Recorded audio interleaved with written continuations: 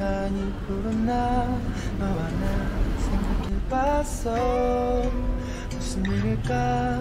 아니 무슨 말을 할까? 아니 무슨 옷을 입을까? 그렇게 금요일이 왔어. 너의 발을 맞추려 할 때마다